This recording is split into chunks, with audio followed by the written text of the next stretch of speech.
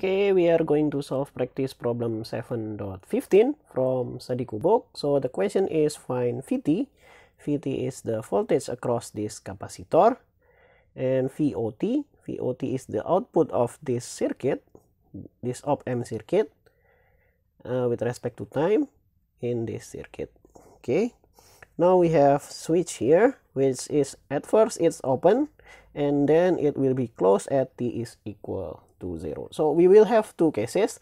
The first one is before the switch is closed and the second one is after the switch is closed.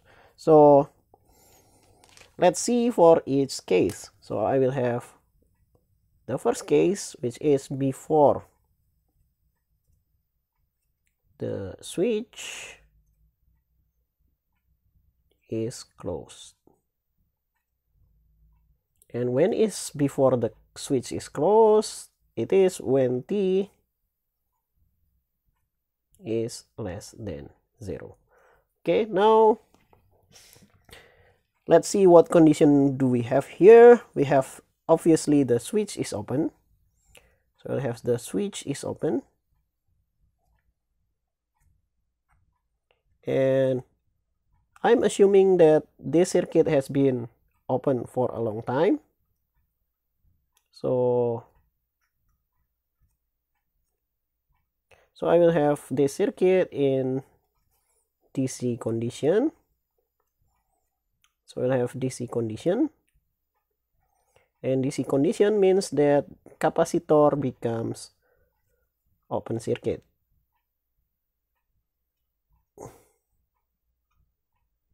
Okay so now we have these three conditions and I will draw the circuit that represent these three conditions. Okay, let's draw the circuit and continue after that. Okay, now I have drawn the circuit that represent the condition when t is less than 0. So we will have this voltage source and this resistor is gone because the switch is open so I did not draw it here. And then we have this capacitor as open circuit and this is still V because the capacitor is parallel to the resistor. So this this V becomes the voltage between this node and this node. Okay so now let's do what can we calculate from here. Okay if we see here the positive input of the op-amp is connected to the ground. And ground means that this voltage here will equal to 0 and so I will have this voltage here is also 0 so I will have V here is also 0 and now let's do the characteristic of the op amp so I will have the current that goes here and I want to calculate the current that goes there okay? So now I want to calculate here. Let's name this as node A. So I want to use KCL at node A. KCL at node A. And KCL said that the sum of the current that goes in is equal to the sum of the currents that goes out. Okay the current that goes in. There is no current that goes in. So I will just put 0 on the left hand side. And then the currents that goes out. There are two currents that goes out. This one and that one. So for this one is going into the op amp and from the characteristic of the op amp here I will have it as 0 so I'll have 0 and another current goes out here. So I will have plus that current here is VA minus V0 divided by 100 kilo ohm. So VA, VA, remember that VA is 0. So I'll have VA is 0. And let's simplify this. I will have 0 is equal to minus V0 divided by 100k. So from here, we can clearly see that here v0 is equal to 0 so this means that v0 is 0 for t is less than 0 so because the voltage cannot change instantaneously we can approach it with v0 at time 0 is equal to 0 and this will be our initial condition for the second case when t is greater than or equal to 0 okay so now let's save this initial condition and we need to see the second case. Okay now let's take a look at the second case. So we'll have second case. And when is the second case happens? It is when t is greater than or equal to 0 okay? Now at this time we have the switch is closed.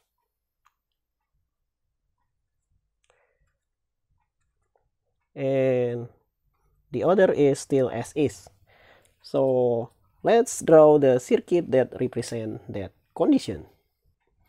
Okay i think to save space i just use this figure instead so i replace this switch with short circuit. Okay now let's see what can we get from here. And this one is connected to the ground so v here is equal to zero.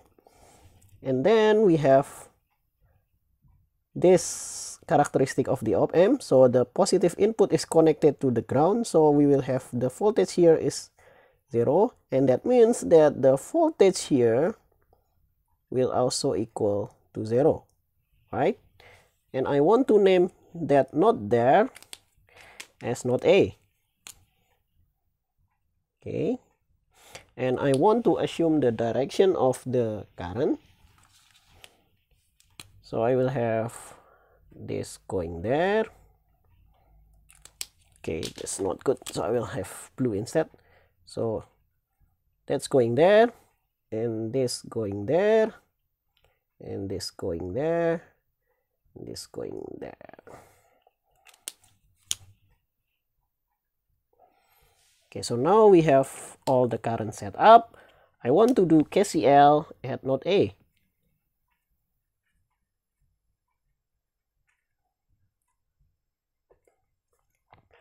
I want to do KCL at node A and KCL said that the sum of the current that goes in is equal to the sum of the currents that goes out. There is only one current that goes in which is this one. And this one is this voltage here which is 4 millivolt. So I will just write 4 millivolt minus V is equal to 0 so I will have 0 here. Then divided by 10k so I have 10k and then the and then we need to calculate the currents that goes out. So the first one is the currents that goes to into the op amp and the currents that goes in into the op amp is equal to 0 because of the op amp characteristic. So I will have 0 here. And the second one is the one who is going to pass through this capacitor. And remember that the currents that pass through capacitor is equal to I is equal to C dV over dt. Okay. So our C is 1 micro. So let's rewrite that. 1 micro. And then d over dt of V. V is here and V is the difference between this node and this node. So I can rewrite that as this node is 0 and that node is V0. Okay, and then we still have one more current here, so I just write it here. And that current that passed through this 100 kilo ohm resistance is 0 minus VO divided by 100 kilo. Okay. So now let's do some algebra to simplify this equation. So I will have 4 milli divided by 10k and then that will equal to this minus can go to the front so I'll have minus 1 micro d v0 over dt and then this one will be minus v0 over 100 kilo. Okay. Now let's save this differential equation and clean the whiteboard to see what can we do. Okay now i have this differential equation but this is messy because we have milli kilo micro and what else? And then i want to multiply all of this all of this by 1 million. So i multiply all of this by 10 to the 6 to remove this 1 micro okay? So that will means that we have this one 10 10,000 will cancel out into 10 to the fourth. So I will have on the left hand side 4 micro is 4 multiplied by 10 to the minus 3 and then 10 kilo will cancel out with this 10 to the 6 so I will have 10 to the 2 right? Yeah. Okay. And this one will be 0 0.4 okay. So I will write 0 0.4 in the left hand side and 1 micro multiplied by 10 to the 6 is 1 so I will, will just have the dv0 over dt so I'll have minus dv0 over dt and this one will be minus 100k will be cancelled with this one. So I will have 10 v0 10 v0 and I can multiply both sides by minus 1 so I will have this is positive and this is positive. And the negative one will be on the left hand side. Okay so from this messy differential equation we have this neat differential equation. So for this differential equation we can solve this using a techniques that we multiply both sides by e to the 10t why we can see later right? So i will have minus 0 0.4 e to the 10t that will equal to e to the 10t then we have dv0 divided by dt and then we will have this one is 10 e to the 10t of v0 okay? Now we will have this differential equation here and we need to see carefully here. If we name this as u and we differentiate this we will have 10 to the 10 multiplied by e to the 10t so this is the derivative of this u. So i'll have u prime and if i name this phi the derivative of it with respect to time will be this one, dv0 over dt. So this is the phi prime. And u phi prime plus u prime phi is a differentiation for function multiplication. So I will have, I can take out the differentiation and get the multiplication of a function. So I will have minus 0 0.4 e to the 10t and I can take out d over dt d over dt and this is the multiplication of u and v.